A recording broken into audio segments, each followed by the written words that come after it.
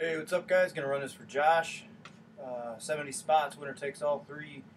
Uh, this year's Jobu, Willie Mays Hayes, and Rick Vaughn. Let's go live.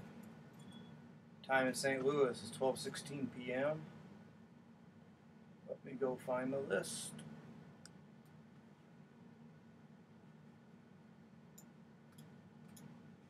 Copy that over. 70 spots.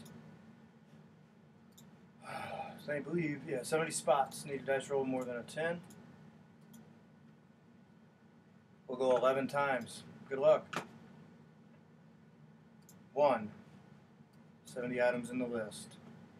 2. 3. 4.